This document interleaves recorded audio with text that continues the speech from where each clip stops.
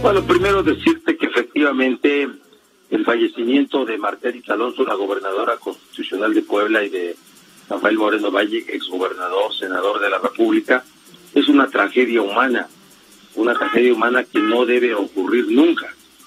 Nosotros somos personas de buena fe que no deseamos que ocurran este tipo de cosas y lamentamos mucho. Estamos impactados, los poblanos estamos de luto y expresamos nuestras condolencias, nuestra solidaridad y nuestro pésame y nuestro pésame a eh, familiares, amigos y seres queridos.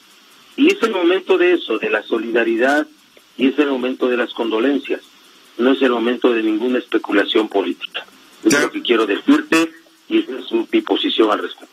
Te agradezco mucho, Luis Miguel Barbosa, la sobriedad con la cual diriges este mensaje a través de este esfuerzo de noticias. Ya hablaremos después de lo que puede llegar a pasar, por supuesto, pero este no es el momento de, como tú bien dices, de especular políticamente. Claro que sí, Pepe. Yo te agradezco mucho que hayas pedido una consideración.